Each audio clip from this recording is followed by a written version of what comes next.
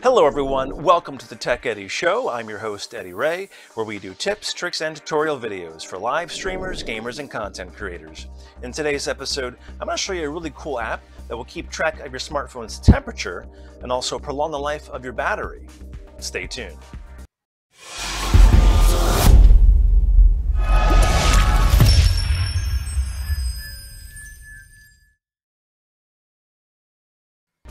Okay, so you're probably asking yourselves, why do I want to know and why do I care about my smartphone's temperature?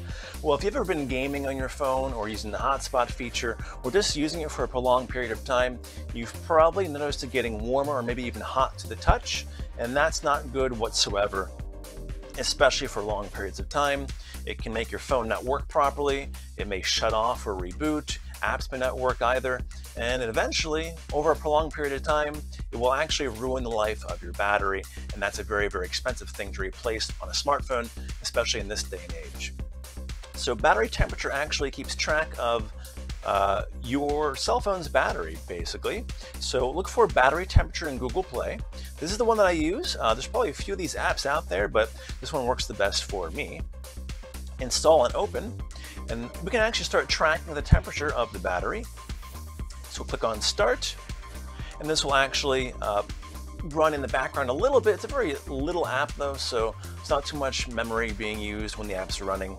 And we notice here, of course, in the top menu, we pull down a little bit. Here we have the battery temperature. Right now it's about 81 degrees Fahrenheit. Of course, we can click stop to stop tracking right there. Also in the top bar next to the clock, and has the temperature there as well. So always easy to spot what your temperature is very easily without going into the app. So it's kind of a cool little feature. Click on the cog wheel here for settings.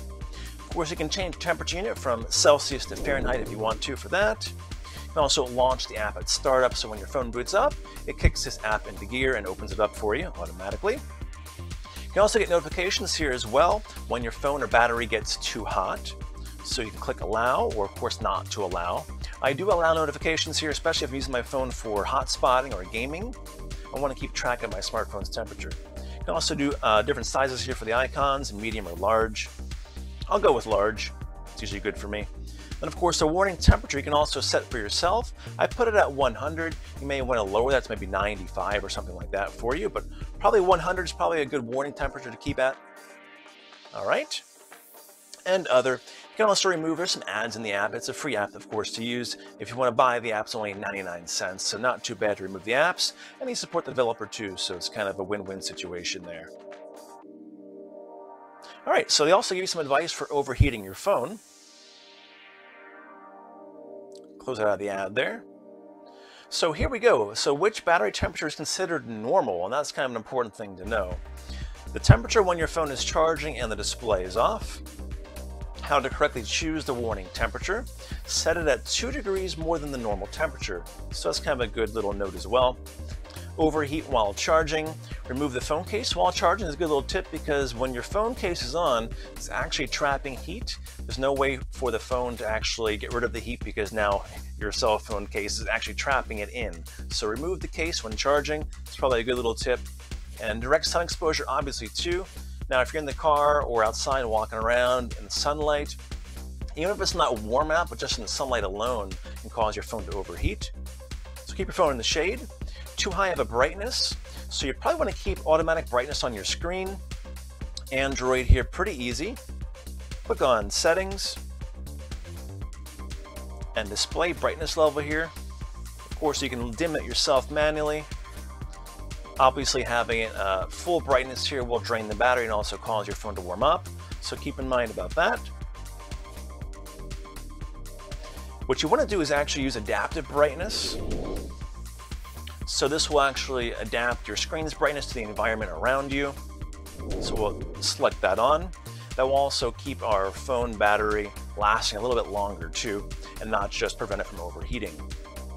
All right, also increased network usage, basically downloading, watching YouTube, uploading stuff. The more you use the phone, the more it's gonna work, the hotter it's gonna get. So you can actually turn on battery saver to uh, prevent yourself from using too much network. And obviously here, old and worn out batteries here, turn on battery saver for that once again too. So some good advice and tips here in the app itself. It's kind of a cool little feature of the app. And that is pretty much it here for battery temperature. So again, not even being in the app here, we can also see the temperature of our phone next to the clock on the upper left, It's actually 82 right now. If we pull down, we get a better view of that right there. If we go into an app here as well, and we use the phone's processor a little bit more, do some more network usage, obviously the temperature will rise a little bit. So keep track of your temperature of your phone, adjust your phone to those certain settings. Adaptive brightness is really good. Keep track of that because you want your cell phone battery to last longer that way your cell phone can last longer for you. So I do highly recommend using this app. It's very small, lightweight, so it runs in the background, and you have very, very important information at your fingertips here, your battery temperature. Let me know in the comments below if you actually use this app or not, and what your phone's temperature may be. Hit that like button for the episode and subscribe. I'm Eddy Ray for the Tech Eddy Show. We'll see you back here next time. Thanks for watching.